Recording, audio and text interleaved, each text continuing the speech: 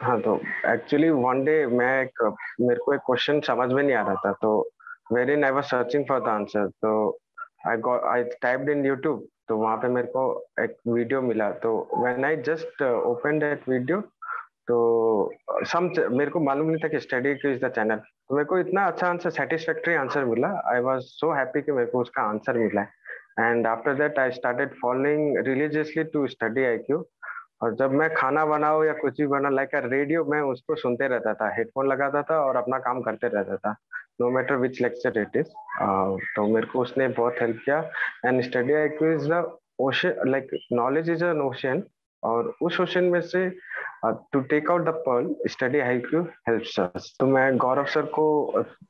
जब यूट्यूब में current affairs चलता था और विपिन सर का जो M C Q that was very much helpful तो उसी से मेरा प्रिलिमिनरी क्लियर हुआ है। तो आई, मैं उनको नमन करता हूँ इस ज्ञान की बारिश करने के लिए। Thank you